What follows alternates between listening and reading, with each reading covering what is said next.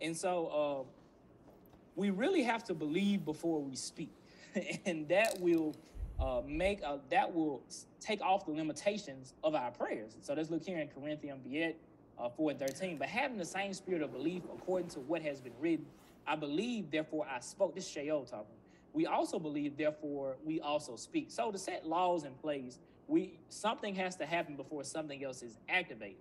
Um, you can't uh, start a car without um, an engine.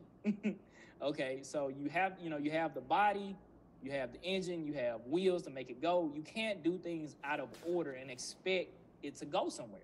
So we have to believe before we speak. If we just speaking based off of what we heard without knowledge and understanding, then what we're doing is we are uh, just hoping. That's pretty much it. Uh, but when you actually understand the Father, you understand His precepts, you understand His laws, and you're praying those, you're petitioning the throne of heaven based off the rights that you understand that you have as a kingdom citizen. Then that I mean, we said it here. The, it says the, the uh, Father's word won't return unto Him void. All right, you're praying with knowledge and understanding, so therefore it happens because you you believe. You know, that this is uh, not just a word operating, but this is that uh, what we talked about faith. That this is emunah. That is that operating.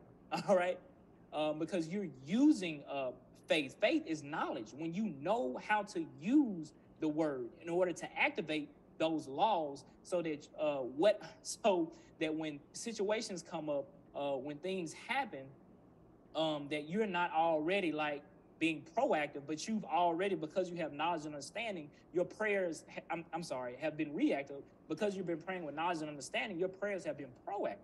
You understand that things are already done for you. Elder Demetrius talked about this. There are things that people are, are praying for that they shouldn't be because they you really should be operating the laws. And when you're operating the laws, some prayers shouldn't shouldn't be said because there's no need for it. All right. Uh, because when Yeshua walked on water, he didn't pray to the Father to walk on water. He walked on a law. All right.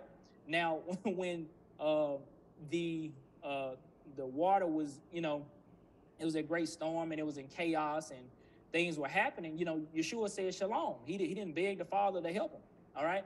So when we understand how to use prayer effectively, we understand the laws and how it is to be used, and speaking His word based off of His precepts then what prayer becomes is a, a, way of communication so that not only are we speaking to the, the, the throne of heaven, are we speaking that to the Father, but now we can also receive and understand how during prayer that we can receive uh, what the Father, because we've created that avenue, that channel for now um, the Father to speak to us and allow us to be conformed even during that time of prayers in the presence. All right.